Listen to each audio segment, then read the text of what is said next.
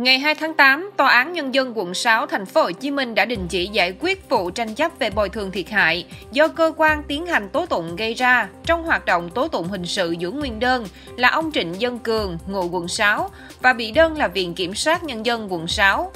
Theo hồ sơ, vào tháng 2 năm 1985, ông Trịnh Dân Cường, ông Hồ Văn Được và ông Trần Đức Ẩn bị công an quận 6 bắt tạm giam vì nghi trộm vàng.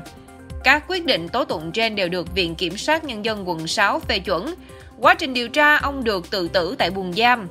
Ngày 19 tháng 9 năm 1985, ông ẩn được trả tự do. Một năm sau thì mất. Ông Cường bị đưa đi cải tạo khi chưa có quyết định của Ủy ban Nhân dân thành phố Hồ Chí Minh và Ủy ban Nhân dân quận 6. Đến ngày 3 tháng 12 năm 1986, ông Cường được trả tự do với lý do không liên quan đến vụ trộm tiệm vàng.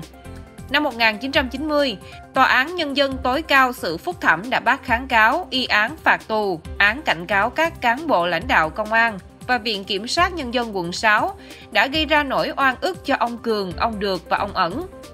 Tháng 1 năm 2023, ông Cường nộp đơn khởi kiện Viện Kiểm sát Nhân dân quận 6, yêu cầu xin lỗi công khai và bồi thường 6,8 tỷ đồng. Tại buổi hòa giải và công khai chứng cứ ngày 9 tháng 6, ông Cường giữ nguyên yêu cầu khởi kiện. Tuy nhiên, Viện Kiểm sát Nhân dân quận 6 cho rằng đề nghị của ông Cường đã hết thời hiệu giải quyết nên không chấp nhận yêu cầu bồi thường oan sai của ông Cường.